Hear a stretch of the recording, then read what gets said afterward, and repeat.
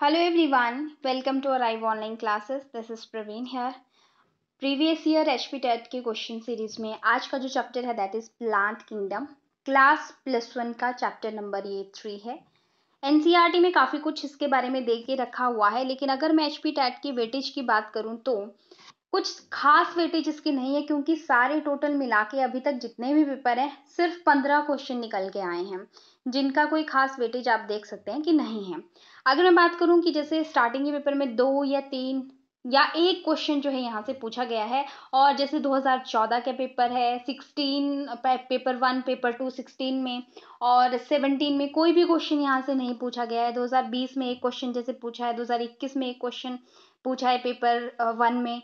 इस तरह से मतलब कुछ खास वेटेज यहाँ से इस प्लांट किंगडम का नहीं देखने को मिला। बट स्टूडेंट अगर मैं चैप्टर की बात करूँ, ये जो चैप्टर है इसमें बहुत सारे क्वेश्चन बनते हैं, जो कि अगर किसी को जस्ट ऐसे देख के जो हाईलाइटेड क्वेश्चन है, वही बहुत ज़्यादा है, ठीक है? बाकी डीप क्वेश्चन तो अलग बात है। अगर एग्जामिनर ने कुछ डीप डाला तो आप क्या करेंगे?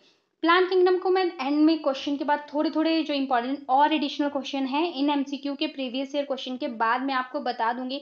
बिकॉज़ कभी कभी ये होता है, जैसे अगर मैं मानूँ तो बॉटनी का जो पोर्शन है, पहले उतना नहीं पूछ रहा था एच लेकिन मैंने देखा कि जो उन्नीस के बाद वाले पेपर है, उसमें थोड़ा थोड़ा इंक्रीज करा उन्होंने वेटेज जैसे कि अगर मॉर्फोलॉजी प्लांट की है तो पहले नहीं उससे कोई क्वेश्चन थे ज़्यादा। बाद में अभी जो है सात आठ आठ क्वेश्चन भी वहाँ से पूछ रखे हैं। तो अभी ऐसा मतलब कुछ भी चेंज हो सकता है। प्लांट किंगडम अपने आप में एक इंपॉर्टेंट चैप्टर है तो आप इसको अच्छे से पढ़ लें। ऐसा ना सोचे कि वेटेज कम है तो कम आएगा। ये चैप्टर इंपॉर्टेंट है, यहाँ से आ सकता है, इसको स्किप ना करें। चलिए प्रीवियस ईयर क्वेश्चन में फ़र्स्ट क्वेश्चन देखते हैं। Which of the following is an insectivorous plant तो यहाँ से ये कॉमन क्वेश्चन है। पहले भी बहुत बार पूछा गया क्वेश्चन है। दो तीन बार रिपीट हुआ है। पिक्चर प्लांट यहाँ पे इसका करेक्ट ऑप्शन हो जाएगा। लेगिमिनस प्लांट वो होते हैं जिनके रूट में लेग्यूम्स बने होते हैं और ये मेनली नाइट्रोजन को फिक्स करने का काम करते हैं। Next question is which of this phenomenon takes place in plant बहुत ही बेसिक क्वेश्चन ये पूछा गया है यहाँ पे। Option A photosynthesis we know that जब जो है प्लांट में फ़ूड प्रोडक्शन होता है ग्लूकोज की फॉर्मेशन होती है सनलाइट और क्लोरोफिल की प्रेजेंस में उसे फोटोसिंथेसिस कहते हैं। ट्रांसपिरेशन जब सरफेस ऑफ़ लीफ से वाटर वेपर का लॉस होता है वाटर का loss in the form of water vapour उसे हम ट्रांसपिरेशन कहते हैं। और रेस्पिरेशन प्लांट्स में भी वैसे ही होती है, जैसे ह्यूमन में लाइक मतलब मैकेनिज्म अलग होता है, लेकिन जिस तरह से हम ऑक्सीजन लेते हैं सांस के लिए प्लांट भी ऑक्सीजन का ही यूज़ करते हैं रेस्पिरेशन के लिए। ये आप ना समझें कि सीओ टू का यूज़ करते हैं सांस लेने के लिए सीओ टू रिक्वायर होती है प्लांट्स को फॉर फोटोसिंथेसिस यहाँ पे इसका सही आंसर ऑल ऑफ़ दिस हो जाएगा। नेक्स्ट क्वेश्चन है। Mimosa pudica that is touch me not छुई मुई का जो प्लांट होता है वो क्लोज हो जाता है जब हम उसे एकदम टच कर लें, ठीक है? Leaflet due to the process तो वहाँ पे क्या प्रोसेस होता है? तो स्टूडेंट यहाँ पे इसका सही आंसर हो जाएगा नेस्टिक मूवमेंट नेस्टिक मूवमेंट एक स्पेशल तरह की मूवमेंट होती है जो touch me not plant show करता है. ट्रांसपिरेशन अभी मैंने आपको बताया वाटर लॉस फ़ोटो रेस्पिरेशन क्या होता है स्टूडेंट ये एक ऐसा प्रोसेस है जो इन्वॉल्व करता है, यानी कि वो फिक्स करता है कार्बन कार्बन को कार्बन डाइऑक्साइड से फिक्स करने का काम करता है और ये लाइट के प्रेजेंस में होता है। और ये ज़्यादातर तब होता है जब ऑक्सीजन की कंसंट्रेशन प्लांट में ज़्यादा होती है और क्लोरोप्लास्ट में ये प्रोसेस जो है इनिशिएट होता है। और नेस्टिक मूवमेंट में आपने ये पॉइंट भी ध्यान में रखना है कि ये जो मूवमेंट होती है, ये स्ट्यूमिलाई की वजह से होती है, किसी स्ट्यूमुलस की वजह से होती है और ये मूवमेंट डायरेक्शनल नहीं होती है कि अगर टच किया तो इसी तरफ़ मूव करना है या इसी तरफ़ मूव करना है, ऐसा नहीं है। ये नॉन डायरेक्शनल मूवमेंट होती है। या तो देखिए स्टिमुलस क्या हो सकता है टेम्परेचर हो सकता है, कोई जो है यहाँ पे जैसे टच एक छूना किसी चीज़ को, या फिर ह्यूमिडिटी जो है ह्यूमिडिटी की वजह से भी प्लांट ऐसी मूवमेंट जो है वो शो कर सकते हैं। ये सारे एग्ज़ाम्पल आपको माइंड में रखने हैं। और यहाँ पे दूसरी टर्म है ट्रॉपिक मूवमेंट तो ट्रॉपिक मूवमेंट आपने टर्म सुन रखी होंगी जैसे फोटोट्रॉपिज्म जियोट्रॉपिज्म ये टर्म्स जो है इसमें आती है. फोटोट्रॉपिज्म का मतलब होता है photo means light tropism movement होना. लाइट की तरफ़ को प्लांट पार्ट की मूवमेंट होना. दूसरा है geotropism geotropism usually roots show करते हैं पॉजिटिवली जियोट्रॉपिक होते हैं ये, क्योंकि ये टूवर्ड्स अर्थ जो है वाटर सरफेस की तरफ़ जो है, एक तो जियो वर्ड यहाँ पे छिपा हुआ है मतलब टूवर्ड्स अर्थ रूट्स जो है टूवर्ड्स अर्थ जाते हैं, या फिर सोर्स ऑफ़ वाटर की तरफ़ जब जाती हैं तो एक और टर्म यहाँ पे यूज़ होती है, और वो दूसरी टर्म जो है that is hydro one second hydrotropism तो तीन टर्म्स मैंने आपको बताई hydrotropism phototropism geotropism geo word towards earth hydro for water and photo for light next question botanical name of brinjal तो यहाँ पे मैंने आपको ये क्वेश्चन पहले भी करवा चुकी हूँ मैं। यहाँ पे पेंथेरा लियो ये होता है आपका लाइन का। सोलिनम ट्यूबरोसम होता है आलू का। और यहाँ पे पाइसियम सटाइवम होना था। पाइसियम सटाइवम ये जो है आपका पी का होता है और सोलेनम मेलोनगेना जो है वो हो जाएगा आपका ब्रिंजल का ऑप्शन सी करेक्ट हो जाएगा। Fucoxanthin is found in options हैं red algae brown algae green और ब्लू ग्रीन एलगी तो देखिए रेड कलर जो होता है एलगी का, वो रेड होता है due to phycoerythrin phycoerythrin pigment की वजह से रेड इसलिए रेड एलगी कहते हैं उसे। ब्राउन एलगी यहाँ पे पूछा हुआ है तो यहाँ पे फ्यूकोजेंथिन उसमें होता है, यानी कि बी ऑप्शन सही हो जाएगा। ग्रीन कलर कॉमन है क्लोरोफिल की वजह से होता है। ब्लू ग्रीन एल्गी में भी क्लोरोफिल प्रेजेंट होता है। और वैसे स्टूडेंट क्लोरोफिल हर तरह की एल्गी में प्रेजेंट होता है। एनसीईआरटी में एक फ्लो चार्ट बना हुआ है, एक तरह से टेबल बना हुआ है। वो आप उसकी थोड़ी सी इंफॉर्मेशन नोट कर लीजिए। ये जो तीन चार यहाँ पे क्लासेस की बात की जाती है एल्गी की तो एक होता है स्टूडेंट ग्रीन एल्गी एक है आपके पास ब्राउन एल्गी और रेड एल्गी इनको तो मैंने बता दिया कि पिगमेंट किसकी वजह से आता है। क्लास का नाम भी लिख लीजिए ग्रीन एल्गी की जो क्लास है उसे कहते हैं क्लोरोफाइसी क्लोरोफाइसी क्लास और ब्राउन एल्गी की क्लास को कहते हैं स्टूडेंट फियोफाइसी इसके बाद रेड एल्गी की क्लास का नाम है रोडोफाइसी ओके? आपसे पूछा जा सकता है क्लास भी जैसे अगर पूछ लिया कि इस क्लास में कौन सी तरह की क्लोरोफिल होती है, क्लोरोफिल नोट कर लेंगे यहाँ पे।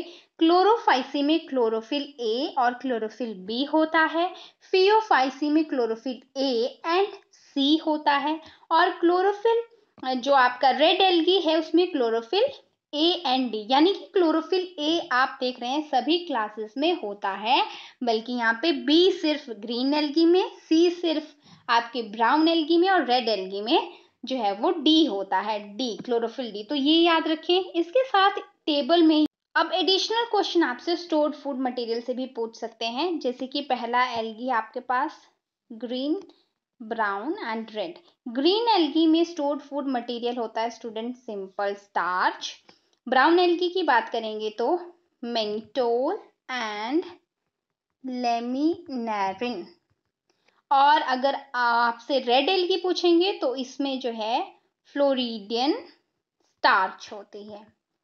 अलग से मेंशन है स्टूडेंट तो इसलिए इंपॉर्टेंट हो जाता है। ओके तो ये क्लासेस और क्लासेस को क्या कहा जाता है? कौन सा पिगमेंट होता है? यहाँ से ये क्वेश्चन सारे बहुत इंपॉर्टेंट है। इरेशिया और फनेरिया दोनों ही ब्रायोफाइट से बिलोंग करते हैं, लेकिन ब्रायोफाइट की भी जो आगे स्टूडेंट्स क्लासेस हैं, उसमें एक जो है एनसीईआरटी में मेंशन है दैट इज़ लिवरवर्ट एंड दूसरा है स्टूडेंट मॉसिस तो अब जो है मॉसिस की क्लासेस में आती है स्टूडेंट प्रोटोनिमा जो स्टेज होती है, और अगर आप थोड़ी सी इन्फॉर्मेशन इसकी नोट करेंगे दैट इज़ प्रोटोनिमा के बारे में, जो प्रोटोनिमा स्टेज है, ये पहली स्टेज आती है लाइफ साइकिल में, और ये फ़र्स्ट जो स्टेज है प्रोटोनिमा ये जब डेवलप होती है दैट इज़ डायरेक्टली ये कहाँ से डेवलप होती है? डायरेक्टली फ्रॉम स्पोर स्पोर जब इनके जर्मिनेट करते हैं तो पहली स्टेज क्या बनेगी? यानी अगर हम ऐसे लिखें कि स्पोर से आगे क्या बन रहा है? फ़र्स्ट स्टेज प्रोटो नीमा बन रही है। और स्टूडेंट इसके बाद क्या है? इसकी सेकंड स्टेज भी आप लिख लीजिए। जैसे फ़र्स्ट पूछा है, हो सकता है सेकंड भी पूछ लिया जाए। तो सेकंड स्टेज लीफी स्टेज इसकी होती है, जो कि सेकेंडरी प्रोटोनिमा से आगे डेवलप होती है। फनेरिया की अगर बात करें यहाँ पे फनेरिया मॉसिस से बिलोंग करता है और उसमें प्रोटोनिमा स्टेज होती है। उसके स्ट्रक्चर में यहाँ पे छोटी छोटी रूट्स लाइक स्ट्रक्चर ब्रायोफाइट्स में रूट्स नहीं होती, इनको हम क्या कहते हैं? रहीजोइड्स कहते हैं। हेयर लाइक छोटी छोटी ग्रोथ होती है। इसके बाद यहाँ पे लीफी स्ट्रक्चर इस तरह से होता है। स्टूडेंट इनको सिंपली एनसीईआरटी के अकॉर्डिंग लीव्स कहा गया है। इसके बाद यहाँ से एक बड़ा सा जो है सीटा इस तरह से निकलता और यहाँ पे टॉप मोस्ट पे जाके उसका कैप्स्यूल होता है। तो यहाँ से मैं आपको ये बताना चाहती हूँ, इसे जो है कहते हैं सीटा एस ई टी ए तो इसमें जो ये पोर्शन होता है जिसमें कैप्सूल इंक्लूड होता है, वो स्पोरोफाइट होता है इसमें और ये जो है गेमिटोफाइट होता है। ओके मतलब एक क्वेश्चन यहाँ से निकल के स्टूडेंट ये भी आता है, ये इंपॉर्टेंट क्वेश्चन है कि जो प्लांट बॉडी आपसे अगर पूछें कि मेन प्लांट की जो बॉडी है ब्रायोफाइट्स में, उसे क्या कहते हैं? The main plant body of bryophyte is called ठीक है, इस तरह से क्वेश्चन पूछा जाए तो उसे हम गेमिटोफाइट या गेमिटोफिटिक वो होती है, और ये स्टूडेंट हेप्लॉइड होती है, ये भी नोट कर लीजिए हेप्लॉइड होती है ये। ठीक है? अब इसके बाद ये जब डेवलप करते हैं इसके स्ट्रक्चर इसी में सेक्स ऑर्गन्स बनते हैं antheridium and archegonium and antheridium for male and archegonium for female और वहाँ से जो है फर्टिलाइजेशन के बाद जाइगोट बनता है।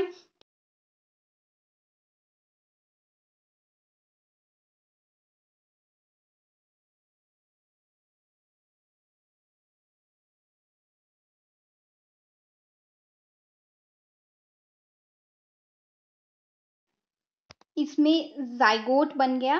फिर जाइगोट जो है एकदम से रिडक्शनल डिवीज़न नहीं कर लेता है। वो एक मल्टी सेलुलर बॉडी बनाता है, जिसे हम स्पोरोफाइट कहते हैं। तो एक तरह से मान लीजिए कि गेमिटोफाइट से आगे चल के स्पोरोफाइट बन रहा है। स्पोरोफाइट में फिर अंदर क्या हो जाता है? उसके स्पोरोफाइट की कुछ सेल्स जो हैं, वो रिडक्शनल डिवीज़न जिसे हम मियोसिस कहते हैं। ये मियोसिस होती है स्पोरोफाइट के अंदर और यहाँ से फिर क्या? हेप्लॉइड स्पोर्स जो हैं, वो बन जाते हैं। ओके? okay, तो ये थोड़ी सी कुछ इंपॉर्टेंट पॉइंट्स यहाँ से निकल के आते हैं जो आपको ध्यान में रखने हैं। इस क्वेश्चन का यहाँ पे right answer protonema stage Funaria हो जाएगा। ठीक है जी? Next question prothallus of Dryopteris तो ये क्वेश्चन आपका टेरिडोफाइट से पूछा गया है। डायरेक्टली एनसीईआरटी से है। डायरेक्ट uh, लाइन जो है एनसीईआरटी की दैट इज़ थैलोइड गेमिटोफाइट जो है एक तरह से लिखा हुआ है कि फोटोसिंथेटिक ये होता है प्रोथेलस थैलोइड होता है और गेमिटोफिटिक होता है। यहाँ पे ऑप्शन ए जो है इसका करेक्ट हो जाएगा। और ये भी पॉइंट आप ध्यान रखें कि प्रोथेलिस फ्री लिविंग होता है फ्री लिविंग राइट right? अब यहाँ पे बात की गई है ड्राइपटेरिस की। तो डायोप्टेरिस क्या है? एक टेरिडोफाइट है, ये मैंने अभी आपको बताया। और टेरिडोफाइटा की भी आगे जो क्लासेस हैं, मैं आपको बता देती हूँ क्योंकि एनसीईआरटी में है टेरिडोफाइटा है। इसकी जो है कौन कौन सी क्लासेस हैं? चार क्लासेस एक का नाम है साइलो सेडा दूसरा है लाइको सेडा इसके बाद थर्ड है फेनोसिडा और फोर्थ वन है दैट इज़ टेरोसिडा अब यहाँ पे डायोप्टेरिस जो है, इस क्लास जो आपका टेरोसिडा है, उससे बिलोंग करता है और इसका अदर मेंबर टेरिस भी है और एडेंटम भी है, ठीक है? दो और आप इसका नाम याद रखेंगे, ठीक है? Next question is which of the following is not an invasive alien species in Indian context तो यहाँ पे देखिए लेंटाना लेंटाना का हमारा क्योंकि बहुत कॉमन है और ये भी बहुत नुकसान करती है अदर बायोडाइवर्सिटी को। पार्थीनियम ये भी जो है नुकसान करती है वीड है। इकॉर्निया, ये भी एलियन स्पीशीज है। साइनाडोन जो है, जिसे हम धूप ग्रास कहते हैं तो ये एलियन स्पीशीज नहीं है। इंडिया में बहुत माना जाता है इसे। तो सी जो है, यहाँ पे करेक्ट हो जाएगा। पार्थिनियम और लेंटाना इकॉर्निया ये तीन नाम याद रखेंगे। एलियन स्पीशीज इसलिए कहा जाता है, क्योंकि बाहर से आई गई हैं और इंडिया में आके हमारे लिए ये नुकसान कर रही हैं। हमारे लिए फ़ायदे का काम इनसे कुछ नहीं होता है। Next question algal bloom imparts a distinct color to water due to. Algal bloom आपने देखा होगा। क्या होता है कि नाइट्रोजन और फॉस्फोरस ज़्यादा होने की वजह से प्लांट बॉडी में एल्गी की काफ़ी ज़्यादा ग्रोथ हो जाती है। नॉर्मल से ज़्यादा कुछ छोटे से टाइम पीरियड के अंदर ही काफ़ी ज़्यादा ग्रोथ हो जाती है और उसे हम क्या कह देते हैं? एल्गल ब्लूम कह देते हैं। और इसकी वजह से क्या होता है कि एल्गी है, आपको पता है, एक प्लांट है तो उसे ऑक्सीजन की ज़रूरत है। ऑक्सीजन लेवल जो है उस वाटर बॉडी में लो हो जाएगा। अदर वाटर में रहने वाले जितने भी ऑर्गेनिज्म हैं, उनको नुकसान होता है इनसे। तो वो जो एक पर्टिकुलर कलर वहाँ पे आता है, ज़्यादातर ग्रीन कलर वाली एल्गल ब्लूम देखने को मिलती है। तो पिगमेंट की, उनकी अंदर जो पिगमेंट है, उनकी वजह से वो होता है। ठीक है? ऑप्शन ए करेक्ट हो जाएगा। Next question what is a Pinus तो पाइनस एक क्या है? ट्री है। Next question reptiles of plant kingdom is तो रेप्टाइल्स जो है साइकेट्स को बोला जाता है, ठीक है? जो साइकेट स्पीशीज हैं, वो आज की डेट में ज़्यादातर स्पीशीज इसकी एंडेंजर्ड हैं, खतरे में हैं बिकॉज़ ओवर एक्सप्लॉयटेशन इनका हो रहा है। तो जैसे कि ट्रॉपिकल और सब ट्रॉपिकल रीजन में, जैसे रेप्टाइल और पांडा जो है एक तरह से एंडेंजर्ड माने जाते हैं तो ये भी साइकेट भी उनकी तरह एंडेंजर्ड कंसीडर किए जा रहे हैं रेप्टाइल्स की तरह तो इनको रेप्टाइल्स ऑफ़ प्लांट किंगडम इसलिए कहा जाता है। ठीक है? अब एक और आप नोट कर लेंगे, जो टेरिडोफाइट्स होते हैं टेरिडोफाइटा के मेंबर टेरिडोफाइट्स, इनको बोटेनिकल स्नेक बोलते हैं। बोटेनिकल स्नेक बोलते हैं। क्यों? क्योंकि देखिए, जैसे हम बात करते हैं कॉर्डेटा की क्लासेस की, ठीक है? तो पहले जो है हम एम्फीबियन पाइसिस आता है। पहले, सबसे पहले पाइसिस फिर जो है एम्फीबियन देन रेप्टाइल्स आते हैं और उसके बाद एव्स और फिर मैमल्स आते हैं। वैसे प्लांट में जो है ब्रायोफाइट्स आते हैं।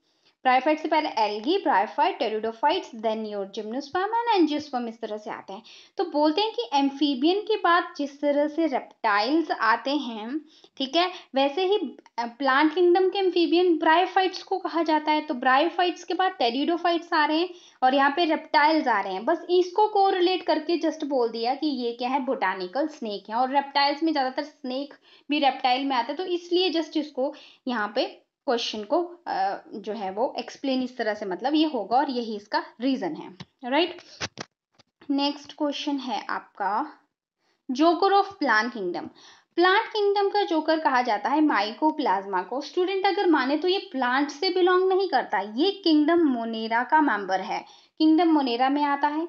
ये एक ऐसा ऑर्गेनिज्म है, एक ऐसी सेल है, जो जिसके पास सेल वॉल भी नहीं होता अदरवाइज़ मोनेरा के पास बैक्टीरिया है, उनके पास सेल वॉल होता है, म्यूरिन पेप्टिडोग्लाइकन इसके पास नहीं है, और ये विदाउट ऑक्सीजन भी सरवाइव कर सकता है, और ये अपनी जो शेप है साइज़ है, उसको भी चेंज कर सकता है अकॉर्डिंग टू सिचुएशन और ये प्लांट्स के अंदर एज अ पैरासाइट भी रह सकता है। इसलिए इसको जोकर ऑफ़ प्लांट किंगडम कहा जाता है। साइनोबैक्टीरिया की बात करें तो कॉमनली इसको ब्लू ग्रीन अलगी कहा जाता है और ये भी मोनेरा से बिलोंग करता है। ब्रायोफाइट्स जो है प्लांट का एक ग्रुप है और थैलोफाइट्स जो है कलेक्टिवली कहा दिया जाता है उन प्लांट्स को जिनकी बॉडी थैलोइड होती है। ट्रू रूट्स ट्रू स्टेम और ट्रू लीव इनमें एबसेंट होते हैं। नेक्स्ट क्वेश्चन है agar agar is obtained from तो अगार अगार एक जो है आपसे सोल्यूशन है, जिसका यूज़ जो है बायोलॉजी लैब्स में भी किया जाता है। सॉल्यूशंस बनाने के लिए ग्रोथ करने के लिए बैक्टीरिया वगैरह की। तो ये रेड एलगी से लिया जाता है। जिलेंडियम एंड ग्रेसिलेरिया दोनों ही मेंबर हैं रेड एलगी के। यहाँ पे ऑप्शन सी करेक्ट हो जाएगा इस क्वेश्चन के लिए। नेक्स्ट है green algae is rich in protein and use as a food supplement even by space travellers तो यहाँ पे स्टूडेंट इसका सही आंसर हो जाएगा. दैट इज़ स्पायरुलिना स्पायरुलिना के साथ एक और एलगी है जो स्पेस में ले जाई जा सकती है. वो भी आप नोट कर लीजिए क्योंकि कई बार ऑप्शन में इसे दिया जाता है क्लोरेला इसको भी स्पेस में। ये भी जो है प्रोटीन रिच होती है तो यहाँ पे ऑप्शन डी करेक्ट हो जाएगा और दूसरा भी आप नाम यहाँ पे लिख लेंगे। अब कुछ एडिशनल क्वेश्चन इस चैप्टर से मैं स्टूडेंट्स आपको बता देती हूँ। स्टूडेंट्स जो एलगी है एलगी की जो मेंबर्स हैं स्पेशली जब हम बात करते हैं ब्राउन एलगी की तो उनकी बॉडी किसी सबस्ट्रेटम से अटैच होती है। सबस्ट्रेटम ऐसी जगह जहाँ पे वो अटैच हैं, उसे सबस्ट्रेटम बोल रहे हैं। तो जिस स्ट्रक्चर के साथ वो बेस जो है, जहाँ से वो अटैच होते हैं, उसे क्या कहते हैं? होल्ड फास्ट कहते हैं। होल्ड फास्ट और ये स्पेशल फीचर है आपका ब्राउन एल्गी का। एग्जाम्पल्स ज़रूर देख के जाएँ, जैसे कि कुछ कॉमन एग्ज़ाम्पल ग्रीन एल्गी के मैं आपको बताऊँ। वॉलवॉक्स है। यूलोथ्रिक्स है।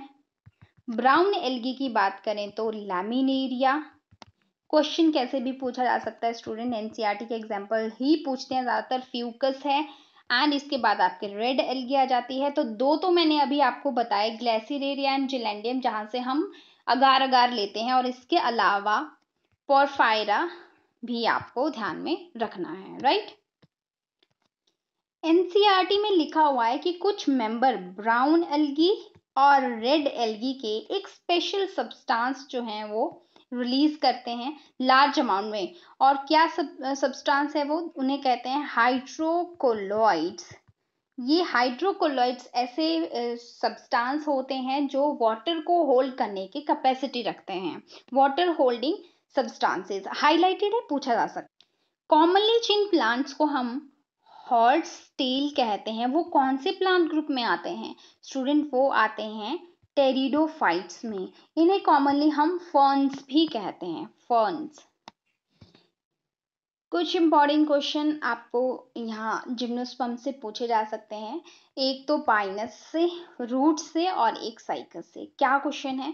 देखिए, आपसे पूछा जाएगा कि पाइनस जो है, वो एसोसिएशन बनाता है, एक सिम्बायोटिक एसोसिएशन विद फंगस तो उसे क्या कहते हैं हम? उसे कहते हैं माइकोरहिजा माइकोरहिजा उसे कहते हैं। अब एक और एसोसिएशन जिम्नोस्पम की होती है साइकस साइकस की रूट्स के साथ एसोसिएशन होती है यहाँ पे साइनोबैक्टीरिया की। साइनोबैक्टीरिया अब ये एसोसिएशन बनाते हैं फॉर नाइट्रोजन फिक्सेशन और इन रूट्स को स्पेशलाइज्ड रूट को कोरिलॉइड रूट कहते हैं साइकस वाली रूट को और पाइनस वाली को माइक्रोरहीजा यहाँ पे कहते हैं। और साइकस का जो कोन होता है, मेल कोन सबसे बड़ा होता है और साइकस जो है एक ऐसा जिम्नोस्पम है जो अनब्रांच्ड होता है। ब्रांचिंग जो है इसमें नहीं होती है। यूजुअली जिम्नोस्पम है तो मैक्सिमम जो है वो इनकी प्लांट्स जो हैं, ब्रांचिंग शो करते हैं, लेकिन आपने याद रखना कि साइकस ऐसा नहीं करता है। एंजियोस्पर्म में एनसीईआरटी में है कि टॉलेस्ट एंजियोस्पर्म कौन सा है? मोस्ट एडवांस माने जाते हैं एंजियोस्पर्मिक प्लांट जो है। यूकेलिप्टस जो है सबसे लंबा होता है और अगर स्मॉलेस्ट की बात करें फ्लारिंग प्लांट यहाँ पे बता रही हूँ आपको वुल्फिया होता है। जिम्नोस्पर्म भी नोट कर लीजिए कि टॉलेस्ट और स्मॉलेस्ट तो टॉलेस्ट जो है जिम्नोस्पर्म हो जाएगा। दैट इज़ सिक्विया और स्मॉलेस्ट दैट इज़ जीमिया और जीमिया की जो स्पीशीज है दैट इज़ पिग्मिया तो ये सारे question in addition to these previous year question आपके लिए इंपॉर्टेंट हैं। स्टूडेंट प्लांट किंगडम हमारा आज ये फिनिश है। एनिमल किंगडम हम कर चुके हैं। आफ्टर दिस बायोलॉजिकल क्लासिफिकेशन के क्वेश्चंस हैं। बायोलॉजिकल क्लासिफिकेशन के बाद प्लांट की मॉर्फोलॉजी है नॉट में और जो भी आगे क्वेश्चन इंपॉर्टेंट है प्लांट फिजियोलॉजी है, फिर आपका उसके बाद ह्यूमन फिजियोलॉजी है। तो जैसे पेपर तक मेरी पूरी कोशिश है कि आपकी क्वेश्चन मैं कंप्लीट करवा दूँ और होप्स हो कि ये कंप्लीट हो भी जाएँगे। And thank you so much for watching अगर आपको कंटेंट पसंद आता है तो please like the video and subscribe the channel thank you so much मिलते हैं नेक्स्ट वीडियो में। Bye bye have a nice time and take care